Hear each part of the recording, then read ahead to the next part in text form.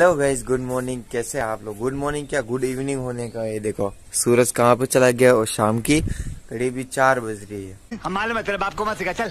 तो देखो सुबह से मैंने बिल्कुल भी लोग ने बनाया। मैंने बोला था अभी परीक्षा के दिन चल रहे हैं मेरे बी एस टी के। अभी मज़ा आएगा ना भिड़ो। के पढ़ाई के तो उसमें आपको लोग बहुत कम मिलेगा। फिर भी मैं कोशिश कर रहा हूँ बनाने की। समझ रहे हो? बनाने की।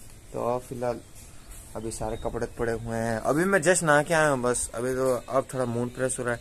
क्या बात है सर? क्या बात है सर? क्या बात ये बात है। क्योंकि सुबह थोड़ी देर पड़ा फिर सिर में दर्द हुआ फिर थोड़ी देर सो गया। तो उठते ही अभी नहा लिया चार बजे उठते ही नहा लिया। अच्छा हमको सिखा रिया है।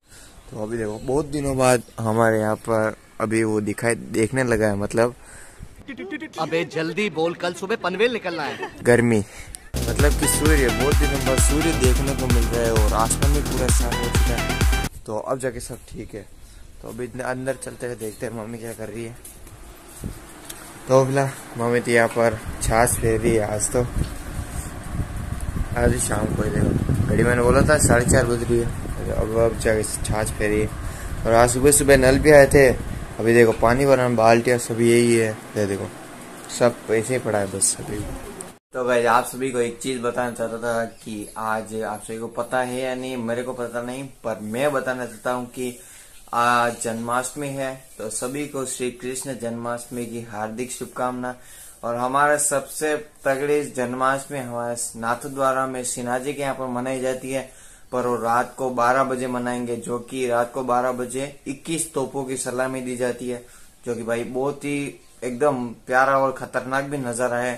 तो मैं तो कभी नहीं गया, आज तक इतना बड़ा हो गया, पर कभी नहीं गया वो इक्कीस तोपों की सलामी देखने के लिए।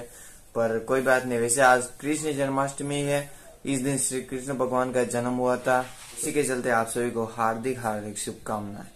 तो भाई जब फ़िलहाल भैंस को कपास मिल गया और देखो यहाँ पर कीचड़, भाई, इतना कीचड़ हो रहा है। खतरनाक एकदम। तो भाई जब फ़िलहाल शाम हो चुकी है और अभी मैंने भगवान जी के दिए भी कर दिए हैं। तो भाई अब फ़िलहाल सूर्यास्त तो पूरा हो चुका अब तो कोई दिखने को नहीं है, अभी तो पूरा सूर्यास्त तो हो चुका है। तो भाई अब फ़िलहाल बैठा हूँ मैं तो यहाँ पर। तो भाई हमने फ़िलहाल तो खाना खा लिया है और मम्मी फ़िलहाल अपना वो व्रत का कुछ खा रही है मतलब व्रत में खाते हैं जो खाना। मतलब अभी क्या है कि आज श्री कृष्ण जन्माष्टमी है, आप सभी को मैंने पहले ही बता दिया तो उसी के चलते आज मम्मी ने और पूनम ने व्रत रखा है।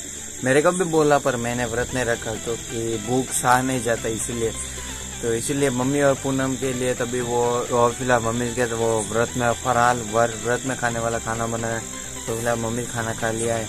तो इस लोग को यहीं पर एंड करता है। और फ़िलहाल टोनी भी यहीं पर बैठा है। तो आई होप आज का लोग आप सभी को पसंद आया होगा, पसंद आए वीडियो को लाइक और चैनल को सब्सक्राइब ज़रूर कर देना। तो आज मेरे सेकंड चैनल की लिंक डिस्क्रिप्शन में तो भाई उसको भी ज़रूर चैनल को सब्सक्राइब करना। तो जल्दी मिलते नेक्स्ट व्लॉग में। Thank you so much for watching Bye.